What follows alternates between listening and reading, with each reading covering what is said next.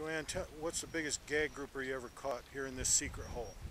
Well, one day I was fishing and um, looking for groupers, and um, I got a hold of a monster gag grouper.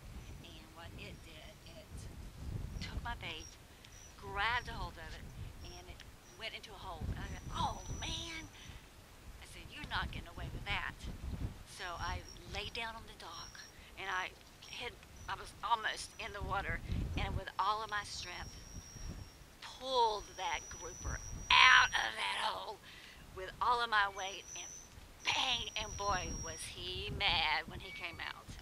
Took me a while though, but um, when he came out, it was a fight, and was it worth it?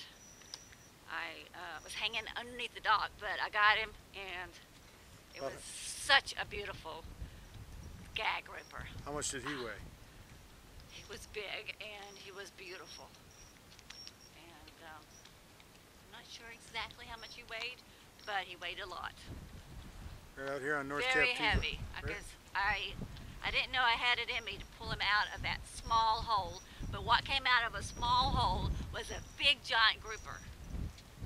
It was like giving birth. And you've done that. yeah. It was miraculous to say the least. Most people would have cut the line. And I said, I'm not cutting my line. I, you coming out, buddy. Not the North Captiva fishing lady. She don't cut the line. I don't cut the line.